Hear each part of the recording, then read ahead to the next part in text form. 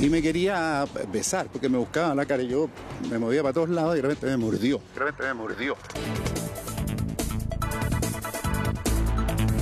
Era imposible pensar, creer que un, que un hermano o que un sacerdote podría ocurrir eh, hacer uno de los hechos que ya se han hecho conocidos. Arranqué, me fui corriendo muchas cuadras a mi casa llorando. Y en algún momento intentaron, intentaron sobrepasarse con él.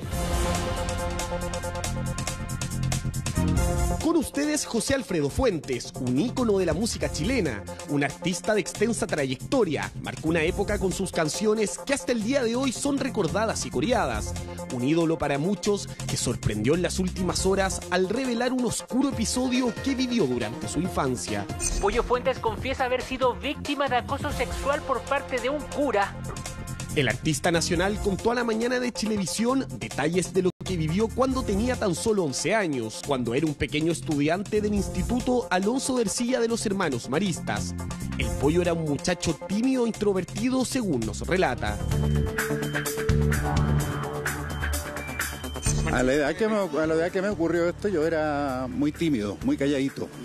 Y creo que estos, estas águilas o estas aves de rapiña se fijan en las personas que son más bien calladitas, tímidos. Eh, era, era el chico Fuente, porque era como bajito en el colegio, y aún no me destacaba ni por la música ni nada. Él tenía buenas notas, era un buen alumno, pero muy, muy calladito, muy de portarse bien. Fue después de una clase de gimnasia. José Alfredo se encontraba junto a un amigo y un cura. El pollo, debido a su contextura, algo pudo hacer ante el ataque del hombre.